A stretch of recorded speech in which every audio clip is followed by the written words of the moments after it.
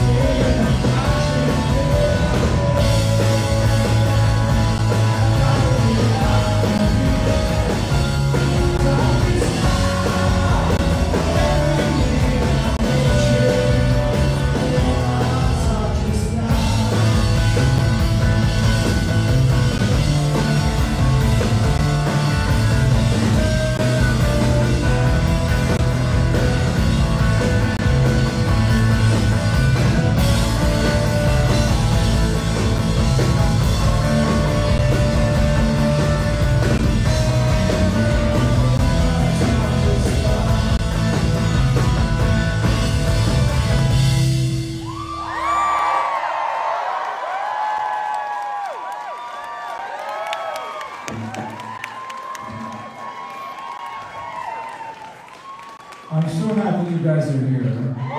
First it's it's full. After COVID, it's full. Amazing.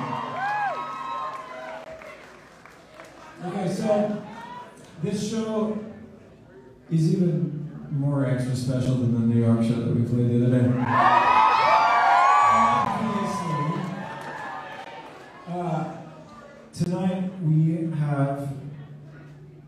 Guests that have been part of our friendship circle and music community joining us. And the young lady that has to bear the brunt of being the first person on stage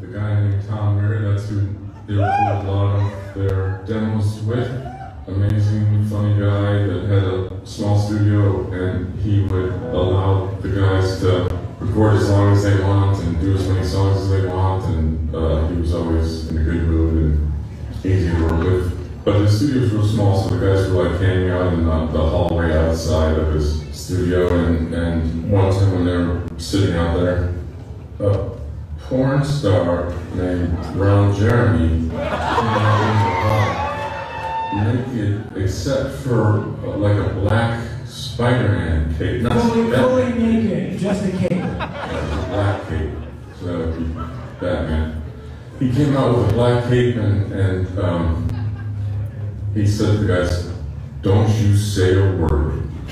So those demos from that time that he did that became known as the Black Cape demos. I'm not for sure that Darkest Hour was on that set of songs and probably a couple other songs from the guys. Tom Weir, the studio, was next to another studio that was doing something else besides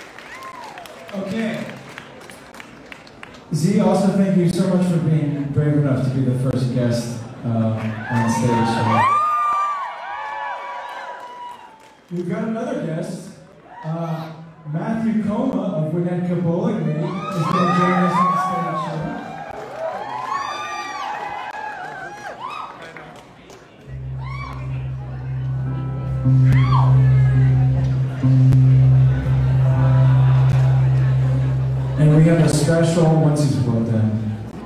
Is, we're trying to make this as tight an audio video experience as possible. Uh, now we have a question from our good friend James Valentine. 20 years of the guest.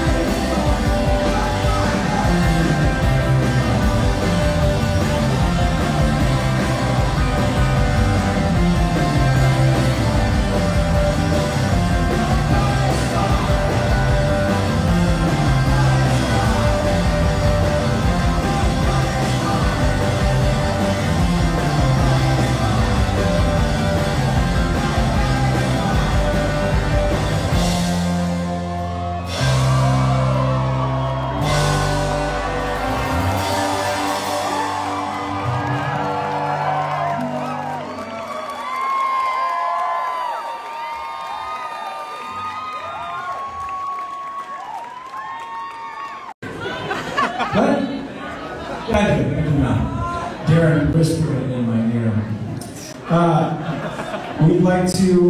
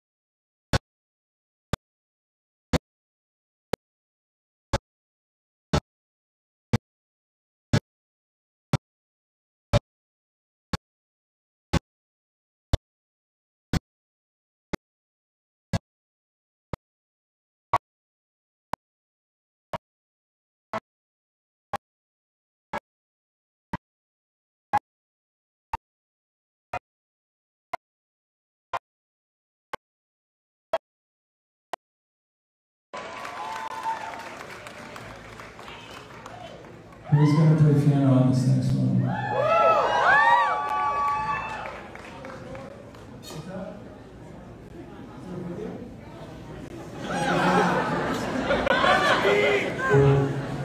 and our good friend Spencer Ludwig.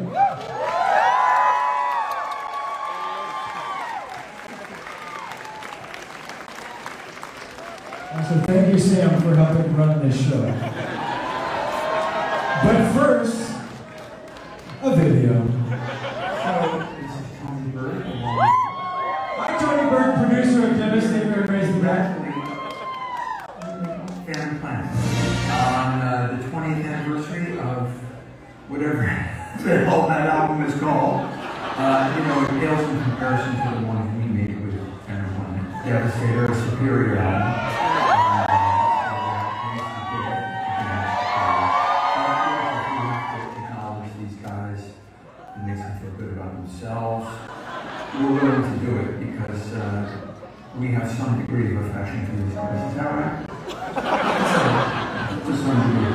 So, to some degree, we hope that you have a fantastic concert and 2010.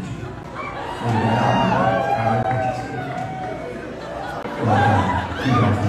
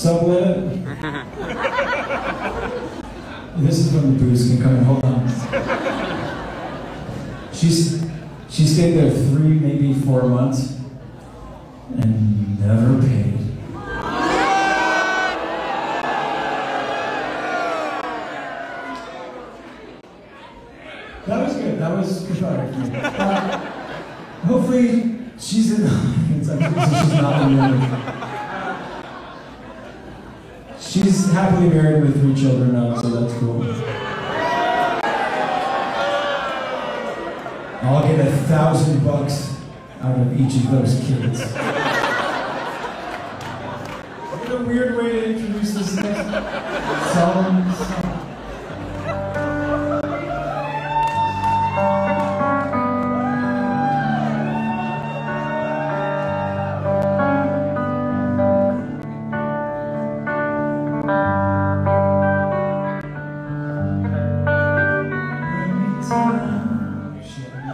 problem. I broke, I broke a fingernail during the show. I can't properly fingerprint this. Let me just start it over again, knowing that I have a wound. Forgive me. Also, this hasn't happened for like 20 years too. We used to just be hammering at our instruments the whole fucking time. Anyway. My fucking kingdom for a real fight. Let's try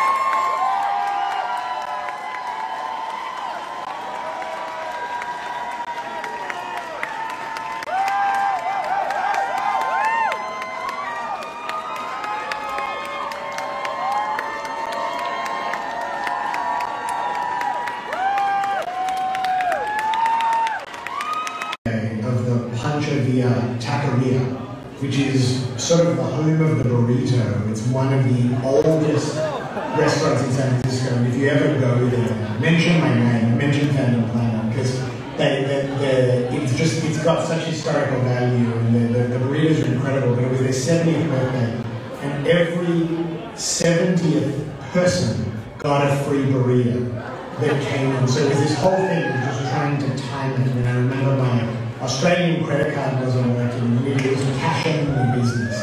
So uh, there was this uh, guy, a brand winemaker was from Lefty in the Castro district. I, I, I knew that they'd just given away one free burrito.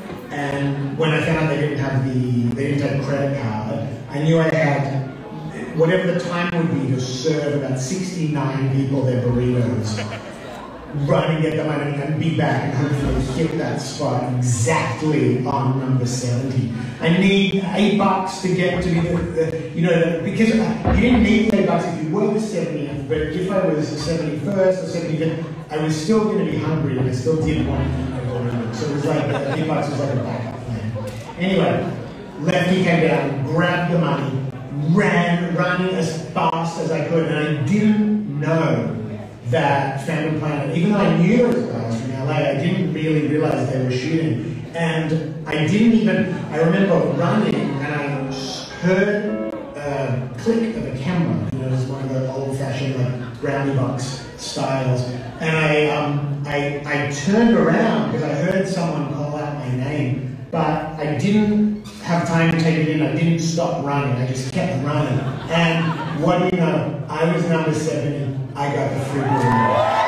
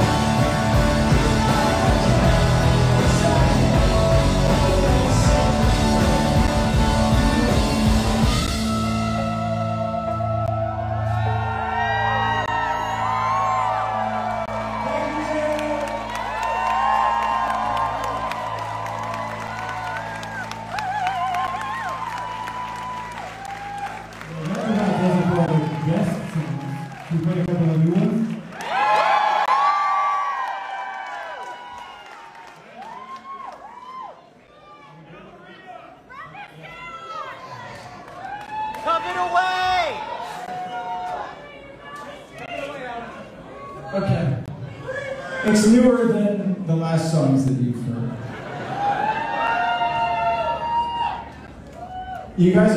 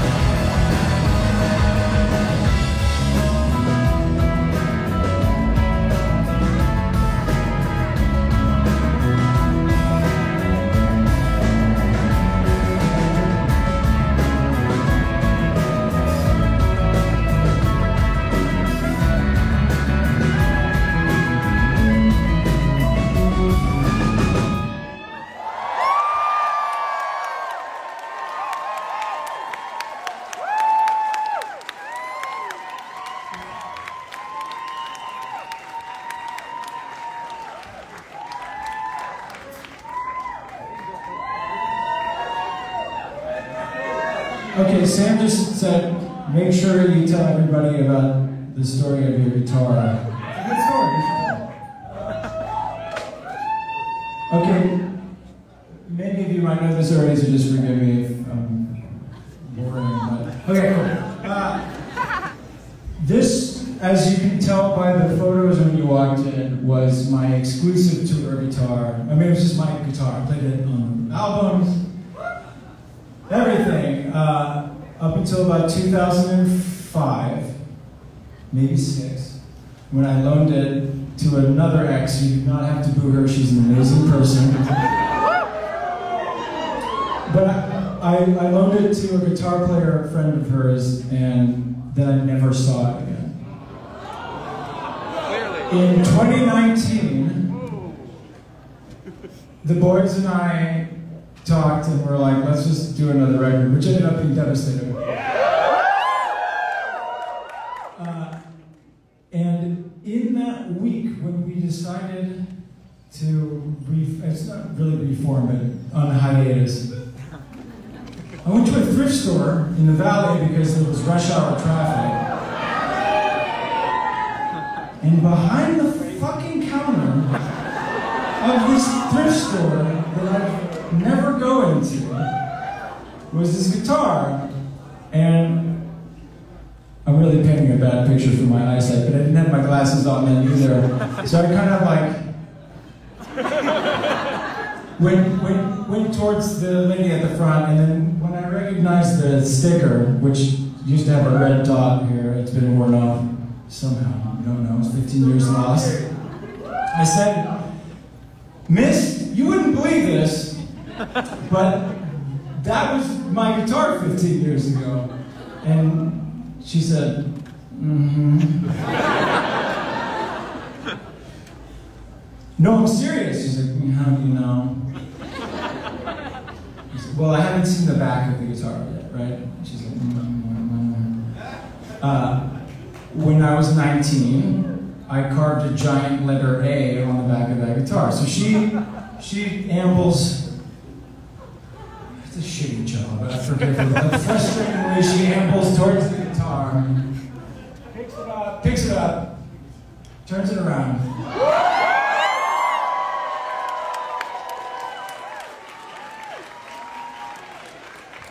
I knew, but I was vindicated, which is great.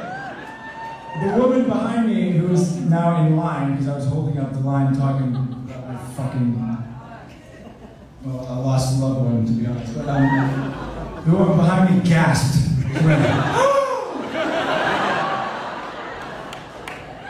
and then she kind of made it about her. She said, a lot of psychic things have been happening to me this week. So, I don't want to hold, I didn't want to hold up the line, so I said, uh, how, how much is it? The woman behind me, of course, says, he shouldn't have to pay for it. The cashier said, it's $25. And I said, look, I will gladly pay 25 bucks to be reunited with my guitar.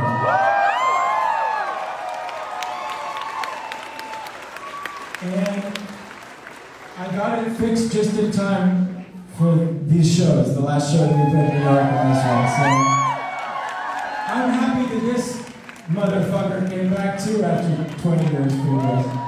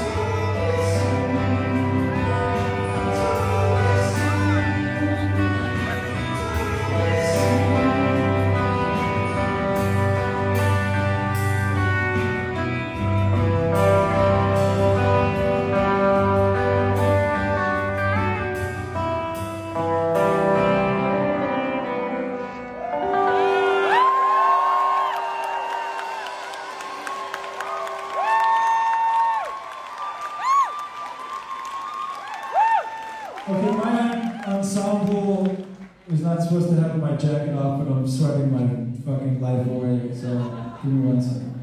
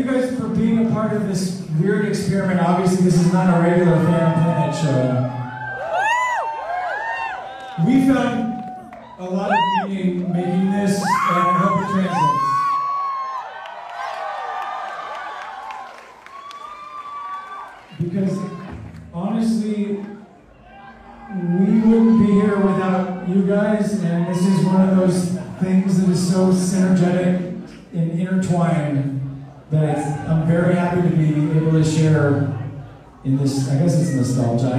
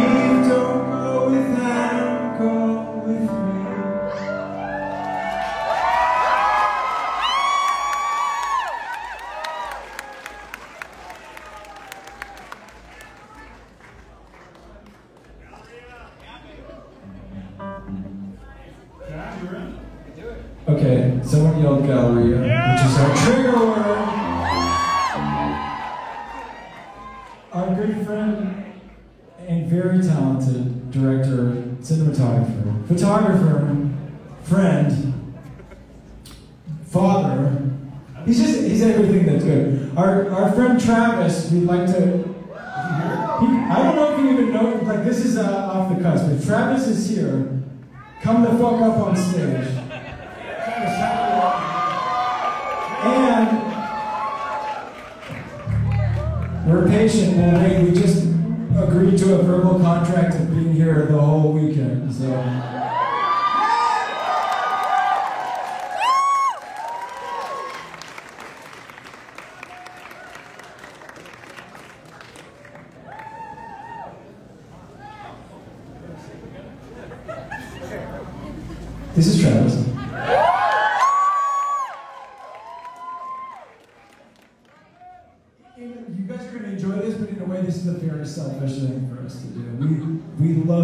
Person. We have known him for 15, 16 years, 16 years.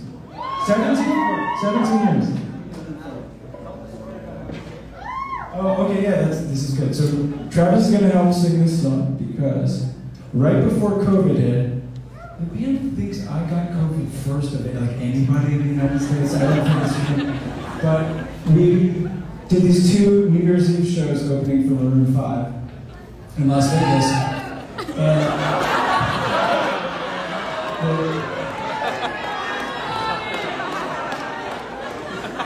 Oh my god. These shows were so fucking beautiful. Uh, the first show went off without a hitch, and then I started feeling sick that night.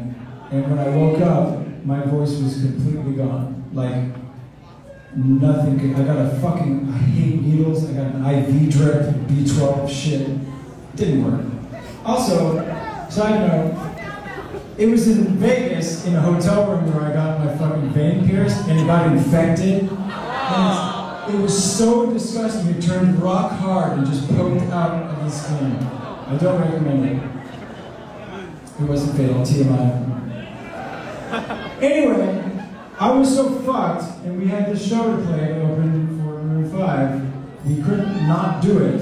So Travis here, who knew some of the songs, I was told I was going to play guitar and do the panic. Let's just put it this way. I come down to sound check. Sam says, how many songs do you know? I said, what do you mean? He said, how many songs can you sing? I said, what are you talking about? And he said, Alex lost his voice. Anyway, he came out, and although there might have been two or three missed words, he fucking nailed it.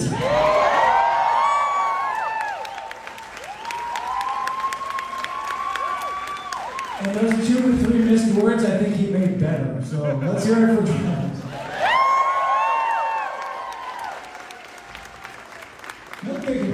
Take a bit of an impromptu part of the set. So, so you want to, are you going to sing this together? Yeah. Yeah, I'm not even sure. You probably know the words better than I do. See. As per the story, I I think everyone knows.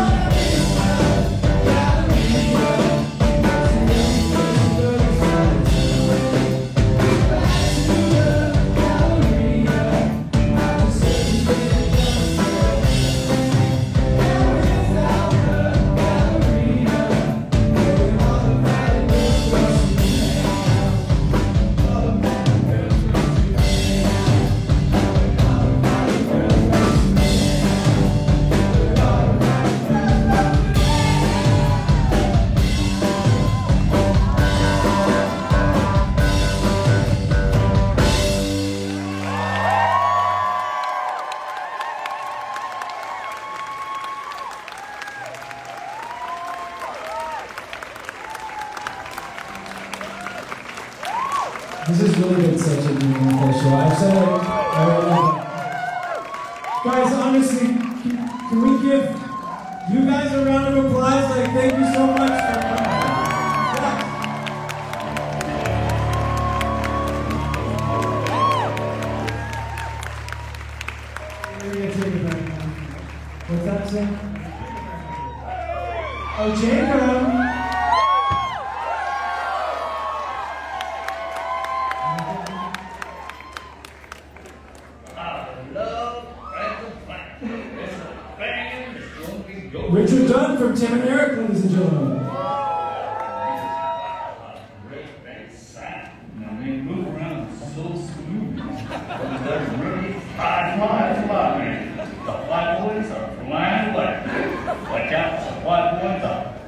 People. Hit your memory and your imagination. Watch out.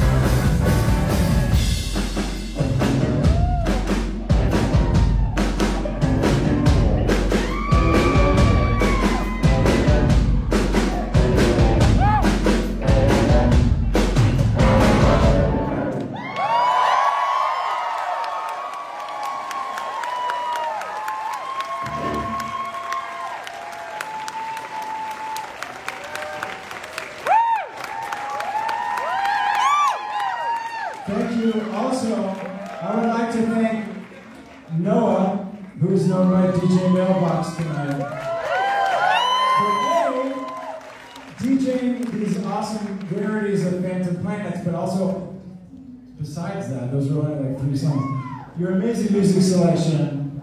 We couldn't have done this show without you. He's also helping run the uh, visuals.